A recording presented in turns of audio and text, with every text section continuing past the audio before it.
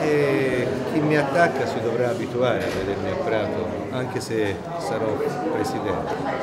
perché sono convinto che noi abbiamo come sinistra in Toscana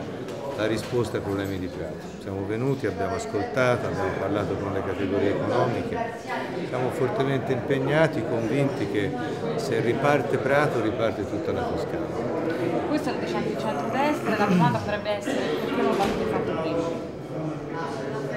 Ma ora tutte le responsabilità non credo che si possano accollare solo alla politica, in particolare alla politica del comune o a quella della regione. Intanto se si parla di clandestinità, visto che la destra cavalca molto questo tema, bisogna tenere presente che negli ultimi dieci anni la destra ha governato il paese per otto anni quindi quando Maroni viene a Prato e alza la bandiera della lotta alla clandestinità deve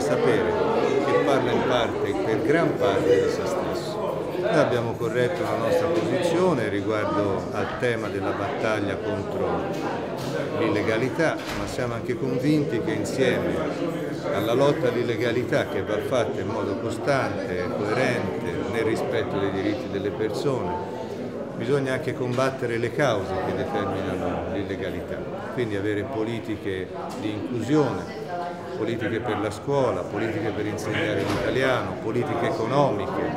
che consentano l'emersione del distretto delle confezioni e consentano in questa area di fare un grande distretto industriale che dia lavoro e che dia possibilità di sviluppo. Faccio presente che di tutte le promesse finora avute dal governo nazionale non si è visto una lira, o se si preferisce un euro. L'inserimento nelle aree di crisi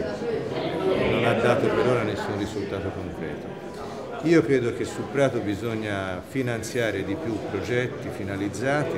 bisogna utilizzare meglio anche le provvidenze comunitarie che abbiamo come Regione e poi occorre un Presidente della Regione che sia eh, combattivo a difendere le ragioni della Toscana e le ragioni di Prato, per impegnare di più il governo. Non basta il Ministro degli Interni, deve venire il Ministro dell'Economia, deve venire il ministro della scuola. Io ho anche detto che il governo deve impegnarsi per regolare i flussi, i flussi migratori perché altrimenti ci sfuggono. Ho incontrato anch'io l'ambasciatore,